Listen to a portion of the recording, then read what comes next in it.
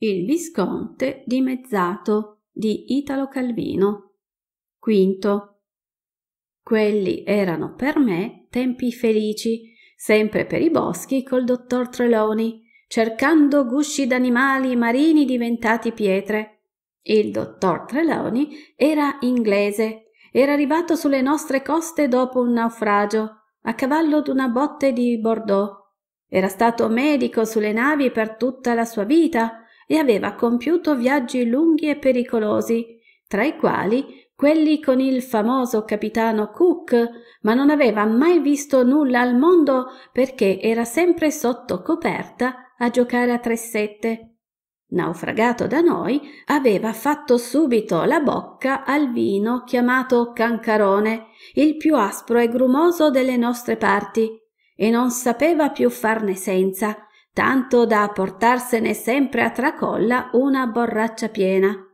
Era rimasto a Terralba e diventato il nostro medico, ma non si preoccupava dei malati, bensì di sue scoperte scientifiche che lo tenevano in giro, e me con lui, per campi e boschi giorno e notte. Prima una malattia dei grilli, malattia impercettibile che solo un grillo su mille aveva e non ne pativa nessun danno e il dottor Trelawney voleva cercarli tutti e trovar la cura adatta. Poi segni di quando le nostre terre erano ricoperte dal mare e allora andavamo caricandoci di ciottoli e silici che il dottore diceva essere stati ai loro tempi pesci. Infine, l'ultima grande sua passione, i fuochi fatui. Voleva trovare il modo per prenderli e conservarli e a questo scopo passavamo le notti a scorrazzare nel nostro cimitero, aspettando che tra le tombe di terra ed erba s'accendesse qualcuno di quei vaghi chiarori, e allora cercavamo d'attirarlo a noi, di farcelo correr dietro e catturarlo senza che si spegnesse in recipienti che di volta in volta sperimentavamo. Sacchi, fiaschi, damigiane spagliate, scaldini, colabrodi.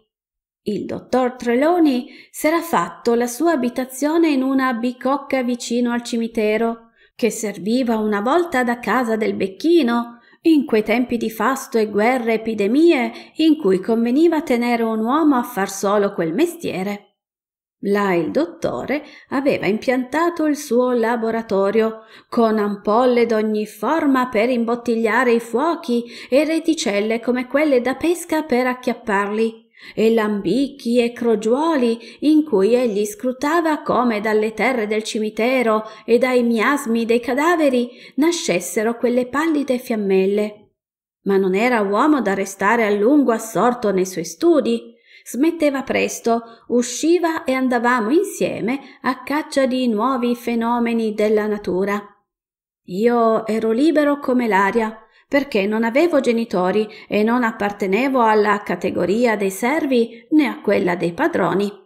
Facevo parte della famiglia dei Terralba solo per tardivo riconoscimento, ma non portavo il loro nome e nessuno era tenuto a educarmi. La mia povera madre era figlia del visconte Aiolfo e sorella maggiore di Medardo, ma aveva macchiato l'onore della famiglia fuggendo con un bracconiere che fu poi mio padre. Io ero nato nella capanna del bracconiere, nei terreni gerbidi sotto il bosco, e poco dopo mio padre fu ucciso in una rissa, e la pellagra finì mia madre rimasta sola in quella misera capanna. Io fui accolto nel castello perché mio nonno Aiolfo si prese pietà e crebbi per le cure della gran balia sebastiana. Ricordo che quando Medardo era ancora ragazzo e io avevo pochi anni, alle volte mi lasciava partecipare ai suoi giochi come fossimo di pari condizione. Poi la distanza crebbe con noi e io rimasi alla stregua dei servi. Ora, nel dottor Treloni, trovai un compagno come mai ne avevo avuto. Il dottore aveva sessant'anni ma era alto quanto me, un viso rugoso come una castagna secca sotto il tricorno e la parrucca, le gambe che le uose inguainavano fino a mezza coscia sembravano più lunghe, sproporzionate come quelle d'un grillo, anche per via dei lunghi passi che faceva, e indossava una marsina color tortora con le guarnizioni rosse, sopra la quale portava tracolla la borraccia del vino cancarone. La passione per i fuochi fatui ci spingeva a lunghe marce notturne per raggiungere i cimiteri dei paesi dove si potevano vedere talvolta fiamme più belle per colore e grandezza di quelle del nostro camposanto abbandonato. Ma guai se questo nostro armeggiare era scoperto dai paesani. Scambiati per ladri sacrileghi, fummo inseguiti una volta per parecchie miglia da un gruppo di uomini armati di roncole e tridenti. Eravamo in posti scoscesi e torrentizi. Io e il dottor Treloni saltavamo a gambe levate per le rocce, ma sentivamo i paesani inferociti avvicinarsi dietro di noi. In un punto chiamato Salto della Ghigna, un ponticello attraversava un abisso profondissimo. Invece di passare il ponticello, io e il dottore ci nascondemmo in un gradino di roccia proprio sul ciglio dell'abisso, appena in tempo, perché già avevamo le calcagne ai paesani. Non ci videro e gridando Dov'è che è che sono quei bastardi? corsero di filato per il ponte. Uno schianto e urlando furono inghiottiti a precipizio nel torrente che correva laggiù in fondo. A me e a Treloni lo spavento per la nostra sorte si trasformò in sollievo per il pericolo scampato e poi di nuovo in spavento per la orrenda fine che i nostri inseguitori avevan fatto. Osammo appena sporgerci e guardare giù nel buio dove i paesani erano scomparsi. Alzando gli occhi vedemmo i resti del ponticello. I tronchi erano ancora ben saldi solo che a metà erano spezzati, come se li avessero segati. Né in altro modo potevamo spiegarci come quel grosso legno avesse ceduto con una rottura così netta. C'è la mano di chi so io, disse il dottor Treloni, e anch'io avevo già capito. Infatti, e fosse figlio d'una capra. In quel tempo mio zio girava sempre a cavallo s'era fatto costruire dal bastaio Pietro Chiodo una sella speciale a una cui staffa egli poteva assicurarsi con cinghie, mentre all'altra era fissato un contrappeso. A fianco della sella era agganciata una spada e una stampella e così il visconte cavalcava con in testa un cappello piumato a larghe tese, che per metà scompariva sotto un'ala del mantello sempre svolazzante. Dove si sentiva il rumor di zoccoli del suo cavallo, tutti scappavano, peggio che al passaggio di Galateo e Lebroso, e portavano via i bambini e gli animali, e temevano per le piante, perché la cattiveria del visconte non risparmiava nessuno e poteva scatenarsi da un momento all'altro nelle azioni più impreviste e incomprensibili. Non era stato mai malato e non aveva quindi mai avuto bisogno delle cure del dottor Treloni, ma in un caso simile non so come il dottore se la sarebbe cavata, lui che faceva di tutto per evitare mio zio e per non sentirne neppur parlare. A dirgli del visconte e delle sue crudeltà, il dottor Treloni scuoteva il capo e arricciava le labbra mormorando Oh, oh, oh. Come quando gli si faceva un discorso sconveniente e per cambiar discorso attaccava a raccontare dei viaggi del capitano Cook una volta provai a chiedergli come, secondo lui, mio zio potesse vivere così mutilato, ma l'inglese non seppe dirmi altro che quel oh oh oh oh. Pareva che dal punto di vista della medicina il caso di mio zio non suscitasse nessun interesse nel dottore, ma io cominciavo a pensare che gli fosse diventato medico solo per imposizione familiare o convenienza, e di tale scienza non gli importasse affatto. Forse la sua carriera di medico di bordo era dovuta soltanto alla sua abilità nel gioco del 3-7, per cui i più famosi navigatori, primo fra tutti il capitano Cook, se lo contendevano come compagno di partita. Una notte il dottor Treloni pescava con la rete fuochi fatui nel nostro vecchio cimitero, quando si vide davanti Medardo di Terralba che faceva pascolare il suo cavallo sulle tombe. Il dottore era molto confuso e intimorito, ma il visconte gli si fece vicino e chiese con difettosissima pronuncia della sua bocca dimezzata Lei cerca farfalle notturne, dottore? Oh, milord, rispose il dottore con un fil di voce. Oh, oh, non proprio farfalle, milord. Fuochi fatui, sa? Fuochi fatui. Già, i fuochi fatui. Spesso anch'io me ne son chiesta l'origine. Da tempo, modestamente, ciò è oggetto dei miei studi, milord fece Treloni un po' rinfrancato da quel tono benevolo. Medardo contorse in un sorriso la sua mezza faccia angolosa, dalla pelle tesa come un teschio. Come studioso ella merita ogni aiuto, gli disse. Peccato che questo cimitero abbandonato com'è non sia un buon campo per i fuochi fatui. Ma le prometto che domani stesso provvederò ad aiutarla per quanto m'è possibile. L'indomani era il giorno stabilito per l'amministrazione della giustizia e il visconte condannò a morte una decina di contadini perché, secondo i suoi computi, non avevano corrisposto tutta la parte di raccolto che dovevano al castello. I morti furono seppelliti nella terra delle fosse comuni e il cimitero buttò fuori ogni notte una gran dovizia di fuochi il dottor Treloni era tutto spaventato di questo aiuto, sebbene lo trovasse molto utile ai suoi studi. In queste tragiche congiunture, mastro Pietro Chiodo aveva di molto perfezionato la sua arte nel costruire forche.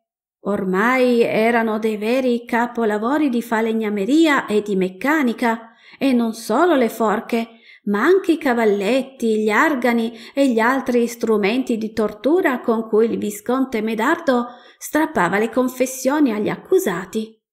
Io ero spesso nella bottega di Pietro Chiodo, perché era bello vederlo lavorare con tanta abilità e passione. Ma un cruccio pungeva sempre il cuore del bastaio. Ciò che lui costruiva erano patiboli per innocenti. Come faccio? pensava a farmi dar da costruire qualcosa d'altrettanto ben congegnato, ma che abbia un diverso scopo. E quali possono essere i nuovi meccanismi che io costruirei più volentieri? Ma non venendo a capo di questi interrogativi, cercava di scacciarli dalla mente, accanendosi a fare gli impianti più belli e ingegnosi che poteva. Devi dimenticarti lo scopo al quale serviranno, diceva anche a me. Guardali solo come meccanismi. Vedi quanto sono belli? Io guardavo quelle architetture di travi, quel saliscendere di corde, quei collegamenti d'argani e carrucole e mi sforzavo di non vederci sopra i corpi straziati. Ma più mi sforzavo, più ero obbligato a pensarci. E dicevo a Pietro Chiodo: Come faccio? E come faccio io, ragazzo? replicava lui. Come faccio io allora? Ma malgrado strazi e paure, quei tempi avevano la loro parte di gioia. L'ora più bella veniva quando il sole era alto il mare d'oro e le galline fatto l'uovo cantavano e per i viottoli si sentiva il suono del corno del lebroso. Il lebroso passava ogni mattina a far l'acquestua per i suoi compagni di sventura si chiamava Galateo e portava appeso al collo un corno da caccia, il cui suono avvertiva da distante della sua venuta. Le donne udivano il corno e posavano sull'angolo del muretto uova o zucchini o pomodori e alle volte un piccolo coniglio scoiato e poi scappavano a nascondersi portando via i bambini perché nessuno deve rimanere nelle strade quando passa il lebroso. La lebbra s'attacca da distante e perfino vederlo era pericolo. Preceduto dagli squilli del corno, Galateo veniva pian piano per i viottoli deserti, con l'alto bastone in mano e la lunga veste tutta stracciata che toccava terra. Aveva lunghi capelli gialli stopposi e una tonda faccia bianca, già un po' sbertucciata dalla lebbra. Raccoglieva i doni, li metteva nella sua gerla e gridava dei ringraziamenti verso le case dei contadini nascosti con la sua voce melata e mettendoci sempre qualche allusione da ridere o maligna. A quei nostri tempi, nelle contrade vicine al mare, la lebbra era male diffuso e c'era vicino a noi un paesetto, Prato Fungo, abitato solo da leprosi, ai quali eravamo tenuti a corrispondere dei doni che appunto raccoglieva Galateo. Quando qualcuno della marina o della campagna veniva colto dalla lebbra, lasciava parenti e amici e andava a Pratofungo a passare il resto della sua vita attendendo d'esser divorato dal male. Si parlava di grandi feste che accoglievano ogni nuovo giunto. Da lontano si sentivano fino a notte salire dalle case dei lebrosi suoni e canti. Molte cose si dicevano di Pratofungo, sebbene nessuno dei sani mai vi fosse stato, ma tutte le voci erano concordanti nel dire che là la vita era una perpetua baldoria.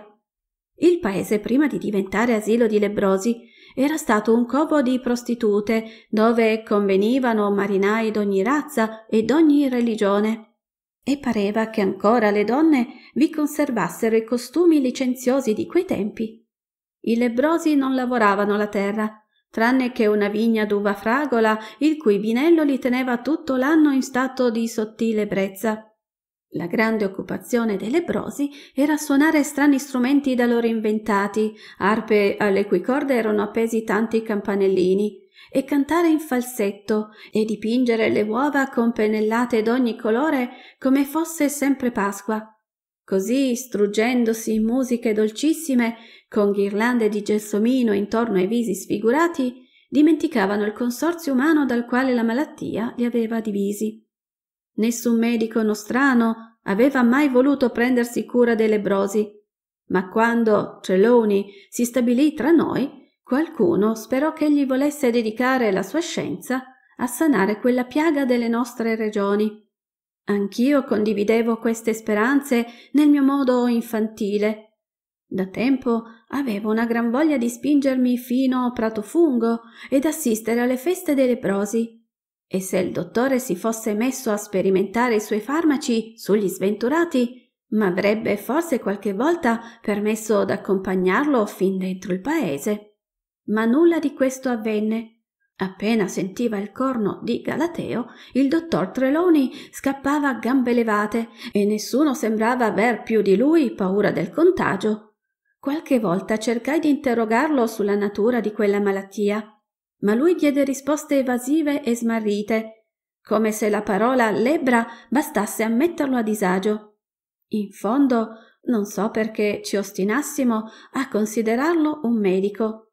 Per le bestie, specie le più piccole, per le pietre, per i fenomeni naturali era pieno d'attenzione, ma gli esseri umani e le loro infermità lo riempivano di ripugnanza e sgomento. Aveva orrore del sangue, toccava solo con la punta delle dita gli ammalati e di fronte ai casi gravi si tamponava il naso con un fazzoletto di seta bagnato nell'aceto. Pudico come una fanciulla al vedere un corpo nudo arrossiva. Se poi si trattava d'una donna, teneva gli occhi bassi e balbettava. Donne nei suoi lunghi viaggi per gli oceani pareva non ne avesse conosciute mai. Per fortuna da noi, a quei tempi, i parti erano faccende da allevatrici e non da medici, se no chissà come si sarebbe tratto d'impegno. A mio zio venne l'idea degli incendi. Nella notte tutta un tratto un fienile di miseri contadini bruciava, o un albero da legna, o tutto un bosco. Si stava fino a mattino allora a passarci di mano in mano secchi d'acqua per spegnere le fiamme le vittime erano sempre poveracci che avevano avuto da dire col visconte per qualcuna delle sue ordinanze sempre più severe e ingiuste, o per i balzelli che aveva raddoppiato. Non contento di incendiare i beni, prese a dar fuoco agli abitanti. Pareva che s'avvicinasse di notte, lanciasse esche infuocate sui tetti e poi scappasse a cavallo, ma mai nessuno riusciva a coglierlo sul fatto. Una volta morirono due vecchi, una volta un ragazzo restò col cranio come scuoiato. Nei contadini l'odio contro di lui cresceva. I suoi più ostinati nemici erano le famiglie di religione ugonotta che abitavano i casolari di Colgerbido. Là gli uomini montavano la guardia a turno tutta la notte per prevenire incendi.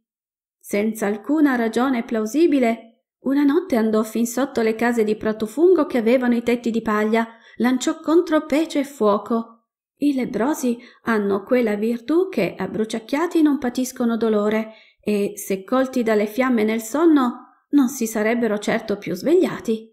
Ma galoppando via, il visconte sentì che dal paese s'alzava la cavatina d'un violino. Gli abitanti di Pratofungo vegliavano, intenti ai loro giochi. Si scottarono tutti, ma non sentirono male e si divertirono secondo il loro spirito. Spensero presto l'incendio, anche le loro case, forse perché iniettate puresse di lebbra, patirono pochi danni dalle fiamme.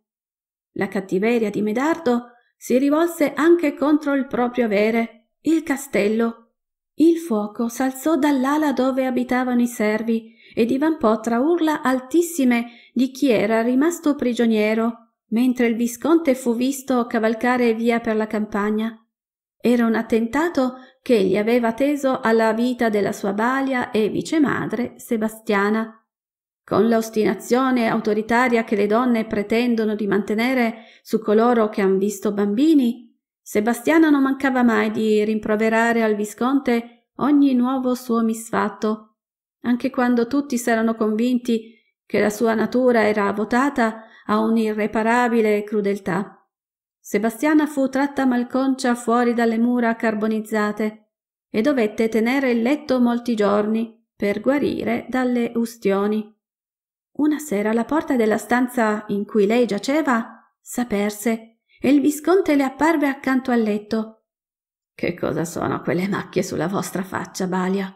disse Medardo, indicando le scottature. Un'orma dei tuoi peccati, figlio, disse la vecchia serena. La vostra pelle è screziata e stravolta. Che male avete, Balia? Un male che è nulla, figlio mio rispetto a quello che t'aspetta in inferno se non ti ravvedi. Dovreste guarire presto. Non vorrei si sapesse in giro di questo male che avete. Non ho da prender marito per curarmi del mio corpo. Mi basta la buona coscienza. Potessi tu dire altrettanto. Eppure il vostro sposo v'aspetta per portarvi via con sé. Non lo sapete? Non deridere la vecchiaia, figlio, tu che hai avuto la giovinezza offesa. No, scherzo. Ascoltate, Balia. C'è il vostro fidanzato che suona sotto la vostra finestra. Sebastiana tese l'orecchio e sentì fuori dal castello il suono del corno del lebroso. L'indomani Medardo mandò a chiamare il dottor Treloni Macchie sospette sono comparse non si sa come sul viso d'una nostra vecchia servente. Disse al dottore. Tutti abbiamo paura che sia lebbra. Dottore, ci affidiamo ai lumi della sua sapienza. Treloni si inchinò balbettando. Mio dovere, milord. Sempre ai suoi ordini, milord. Si girò, uscì, sgattaiolò via dal castello prese con sé un barilotto di vino cancarone e scomparve nei boschi. Non lo si vide più per una settimana. Quando tornò, la balia sebastiana era stata mandata al paese dei leprosi. Aveva lasciato il castello una sera al tramonto, nero vestita e velata, con infilato al braccio un fagotto delle sue robe. Sapeva che la sua sorte era segnata. Doveva prendere la via di Pratofungo Lasciò la stanza dove l'avevano tenuta fino allora e non c'era nessuno nei corridoi né nelle scale. Scese attraverso la corte, uscì nella campagna. Tutto era deserto. Ognuno al suo passaggio si ritirava e si nascondeva. Sentì un corno da caccia modulare un richiamo sommesso su due sole note. Avanti sul sentiero c'era Galateo che alzava al cielo la bocca del suo strumento. La balia s'avviò a passi lenti. Il sentiero andava verso il sole al tramonto. Galateo la precedeva ad un lungo tratto. Ogni tanto si fermava come contemplando i calabroni ronzanti tra le foglie, alzava il corno levava un mesto accordo.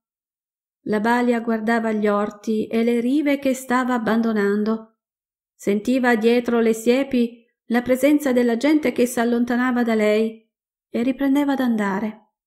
Sola, seguendo da distante Galateo, giunse a Pratofungo e i cancelli del paese si chiusero dietro di lei, mentre le arpe e i violini cominciarono a suonare. Il dottor Treloni rimaneva molto deluso. Non aver mosso un dito perché la vecchia Sebastiana non fosse condannata al lebrosario, pur sapendo che le sue macchie non erano di lebbra, era un segno di viltà, e io provai per la prima volta un moto d'avversione per il dottore. S'aggiunga che, quando era scappato nei boschi, non m'aveva preso con sé, pur sapendo quanto gli sarei stato utile come cacciatore di scoiattoli e cercatore di lamponi. Ora andare con lui per fuochi fatui non mi piaceva più come prima e spesso giravo da solo in cerca di nuove compagnie. Le persone che più m'attraevano adesso erano gli ugonotti che abitavano col Gerbido era gente scappata in Francia dove il re faceva tagliare a pezzi tutti quelli che seguivano la loro religione. Nella traversata delle montagne avevano perduto i loro libri e i loro oggetti sacri e ora non avevano più né Bibbia da leggere, né messa da dire, né inni da cantare, né preghiere da recitare. Diffidenti come tutti quelli che sono passati attraverso persecuzioni e che vivono in mezzo a gente di diversa fede, Essi non avevano voluto più ricevere alcun libro religioso, né ascoltare consigli sul modo di celebrare i loro culti. Se qualcuno veniva a cercarli dicendosi loro fratello ugonotto, essi temevano che fosse un emissario del Papa travestito e si chiudevano nel silenzio. Così s'erano messi a coltivare le dure terre di Colgerbido e si sfiancavano a lavorare maschi e femmine da prima dell'alba a dopo il tramonto, nella speranza che la grazia li illuminasse. Poco esperti di quel che fosse peccato, per non sbagliarsi, moltiplicavano le proibizioni e si erano ridotti a guardarsi l'un l'altro con occhi severi, spiando se qualche minimo gesto tradisse un'intenzione colpevole. Ricordando confusamente le dispute della loro chiesa, s'astenevano dal nominare Dio e ogni altra espressione religiosa, per paura di parlarne in modo sacrilego, così non seguivano nessuna regola di culto e probabilmente non osavano nemmeno formular pensieri su questioni di fede, pur conservando una gravità assorta come se sempre ci pensassero. Invece le regole della loro faticosa agricoltura avevano col tempo acquistato un valore pari a quello dei comandamenti, e così le abitudini di parsimonia a cui erano costretti e le virtù casalinghe delle donne. Erano una gran famiglia piena di nipoti e nuore, tutti lunghi e nodosi, e lavoravano la terra sempre vestiti a festa, neri e abbottonati, col cappello a larghe tese spioventi gli uomini e con la cuffia bianca le donne.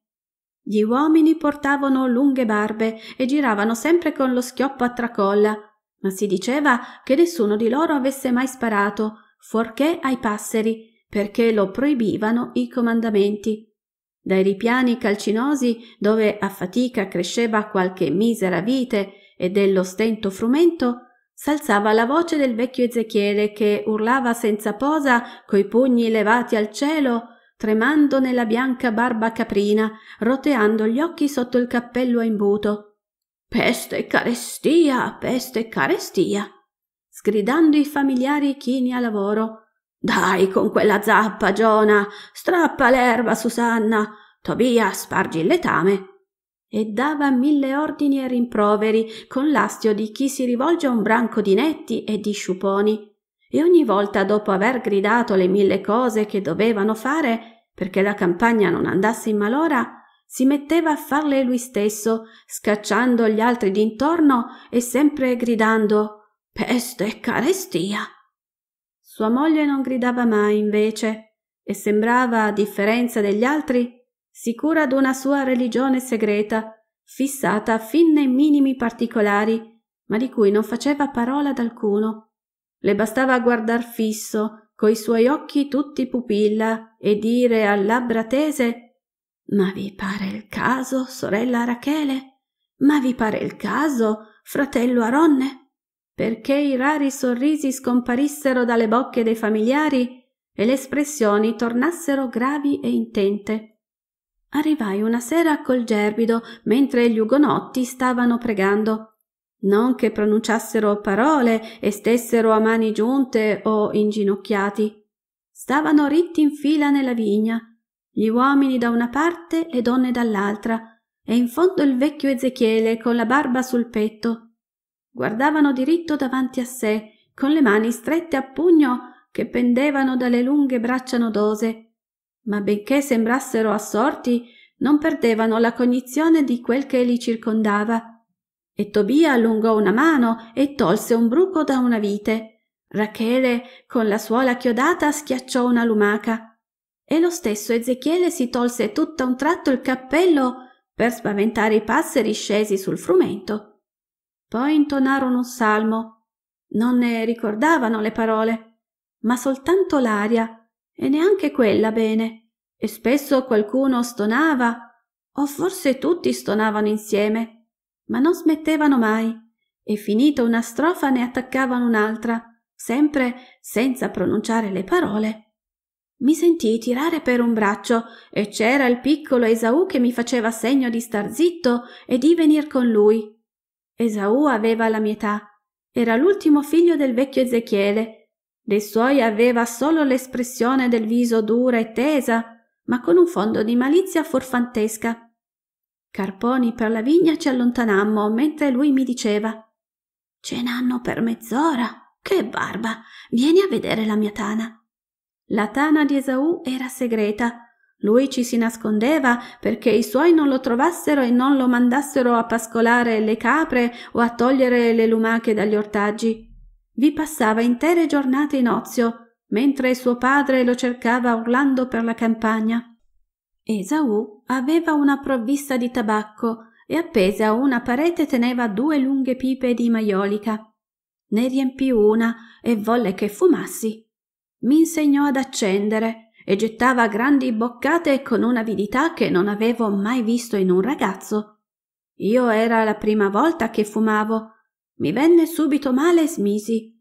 Per rinfrancarmi Esaù tirò fuori una bottiglia di grappa e mi versò un bicchiere che mi fece tossire e torcere budella.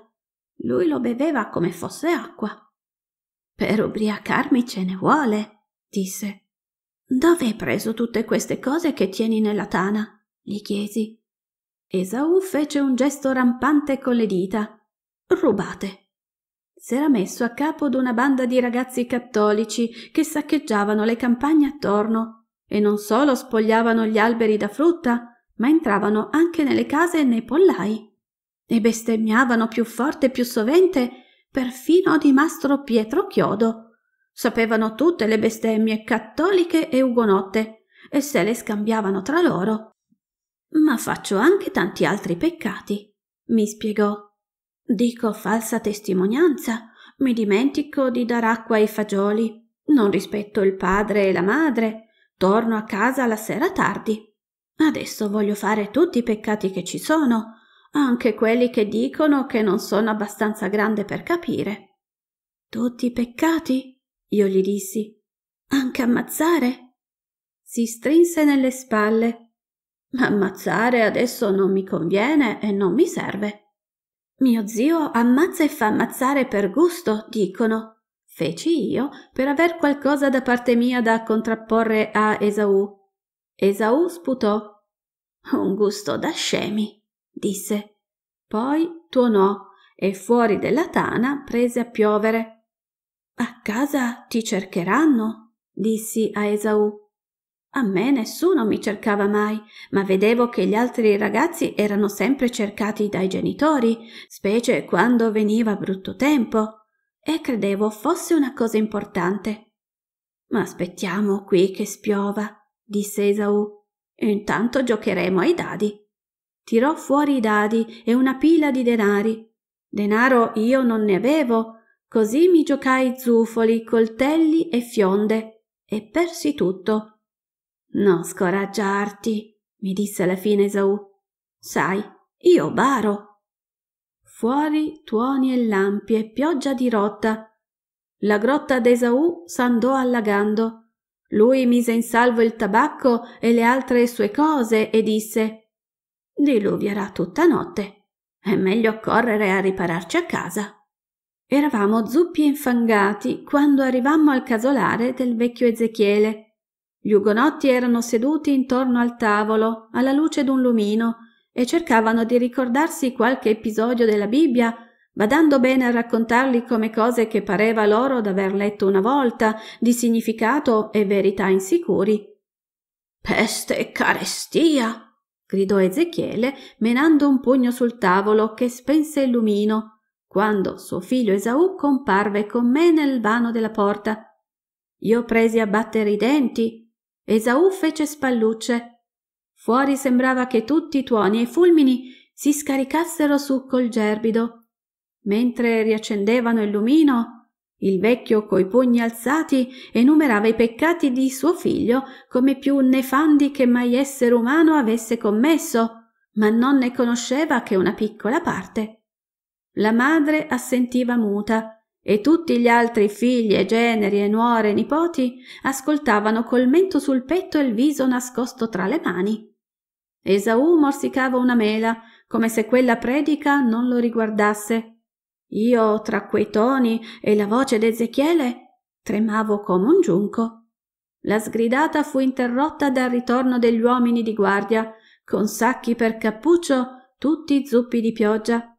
Gli ugonotti facevano la guardia a turno per tutta la nottata armati di schioppi, roncole e forche fienaie per prevenire le incursioni proditorie del visconte, ormai loro nemico dichiarato.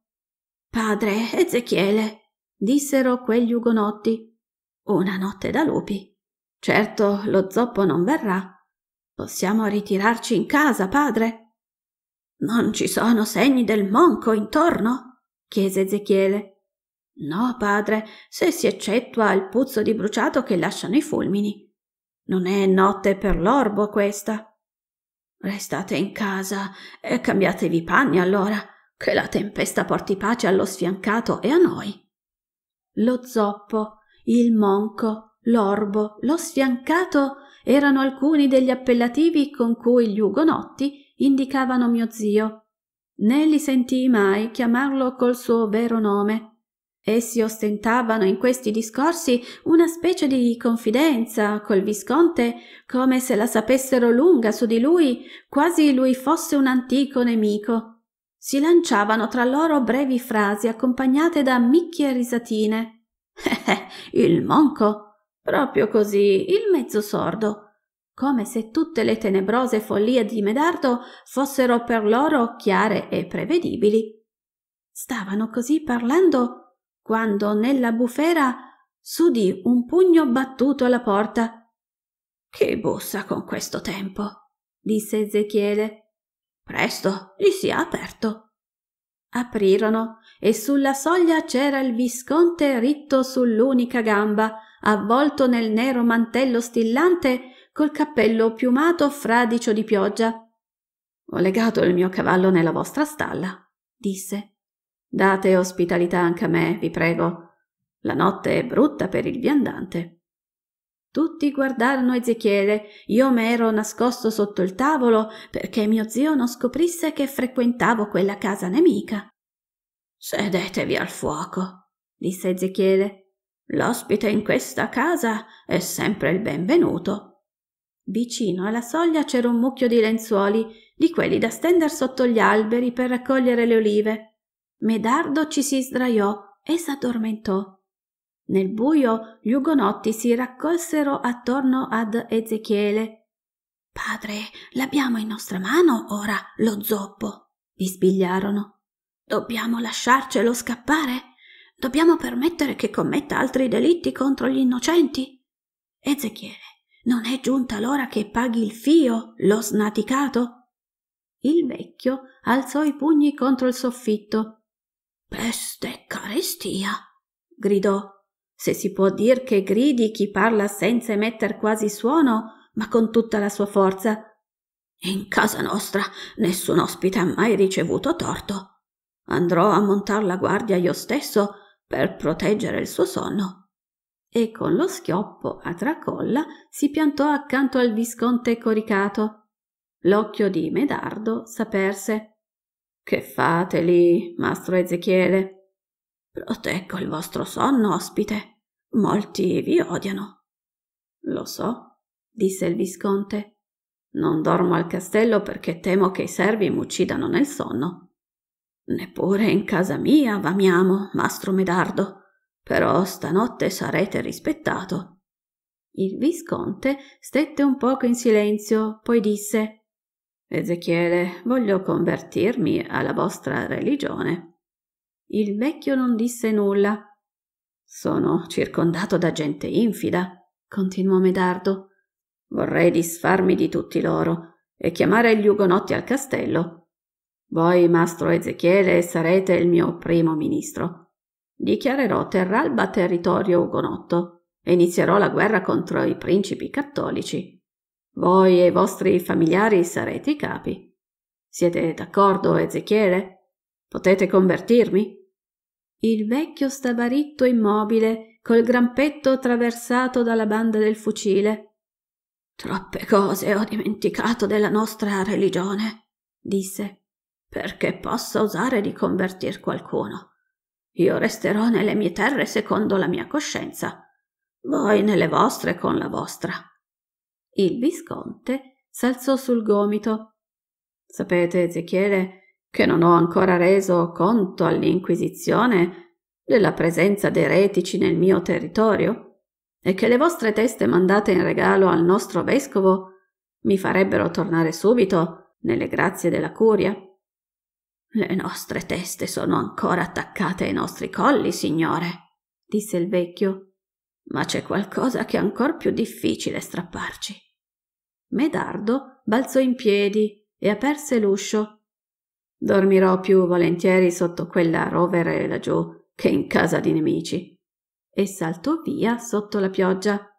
Il vecchio chiamò gli altri. Figli, era scritto che per primo venisse lo zoppo a visitarci. Ora se n'è andato. Il sentiero della nostra casa è sgombro. Non disperate, figli. Forse un giorno passerà un miglior viandante.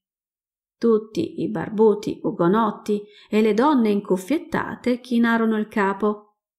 E se anche non verrà nessuno? aggiunse la moglie d'Ezechiele, noi resteremo al nostro posto. In quel momento una folgore squarciò il cielo e il tuono fece tremare le tegole e le pietre delle mura. Tobia gridò Il fulmine è caduto sul rovere, ora brucia. Corsero fuori con le lanterne e videro il grande albero carbonizzato per metà dalla vetta alle radici e l'altra metà era intatta.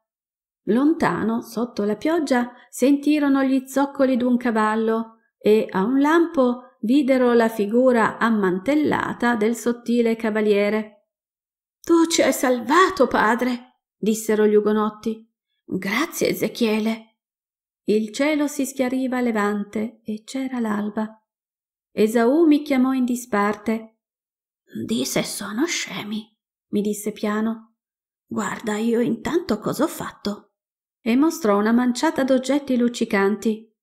Tutte le borchie d'oro della sella gli ho preso mentre il cavallo era legato nella stalla. Di se sono stati scemi loro a non pensarci. Questo modo di fare di Esaù non mi garbava e quello dei suoi parenti mi metteva a soggezione e allora preferivo starmene per conto mio e andare alla marina a raccogliere patelle e a cacciar granchi. Mentre su una punta di scoglio cercavo di stanare un granchiolino, vidi nell'acqua calma sotto di me specchiarsi una lama sopra il mio capo e dallo spavento caddi in mare. Tienti qua, disse mio zio, perché era lui che s'era avvicinato alle mie spalle e voleva m'afferrassi alla sua spada dalla parte della lama. No, faccio da me, risposi e m'arrampicai su uno sperone che un braccio d'acqua separava dal resto della scogliera. Vai per granchi? disse Medardo. Io per polpi. E mi fece vedere la sua spada. Erano grossi polpi bruni e bianchi, erano tagliati in due con un colpo di spada, ma continuavano a muovere i tentacoli. Così si potesse dimezzare ogni cosa intera, disse mio zio coricato bocconi sullo scoglio, carezzando quelle convulse metà di polpo, così ognuno potesse uscire dalla sua ottusa e ignorante interezza. Ero intero e tutte le cose erano per me naturali e confuse, stupide come l'aria. Credevo di veder tutto e non era che la scorza. Se mai tu diventerai metà di te stesso, e te l'auguro, ragazzo, capirai cose al di là della comune intelligenza dei cervelli interi. Avrai perso metà di te e del mondo, ma la metà rimasta sarà mille volte più profonda e preziosa. E tu pure vorrai che tutto sia dimezzato e straziato a tua immagine, perché la bellezza e sapienza e giustizia ci sono solo in ciò che è fatto a brani. Uh, uh, dicevo io, che moltitudine di granchi qui! E fingevo interesse solo alla mia caccia per tenermi lontano dalla spada di mio zio. Non tornai a riva finché non si fu allontanato coi suoi polpi, ma l'eco delle sue parole continuava a turbarmi e non trovavo riparo a questa sua furia dimezzatrice. Da qualsiasi parte mi voltassi, Treloni, Pietro Chiodo, gli ugonotti, lebrosi, tutti eravamo sotto il segno dell'uomo dimezzato. Era lui il padrone che servivamo e da cui non riuscivamo a liberarci. Ti è piaciuto il video? Allora metti like, sostieni il canale. È sufficiente un semplice like. Vuoi farmi sapere cosa ne pensi? Lascia un commento, ti risponderò. Anche questo può aiutare il canale. E se ti è piaciuto questo audiolibro, iscriviti e non dimenticare di attivare la campanella. Grazie.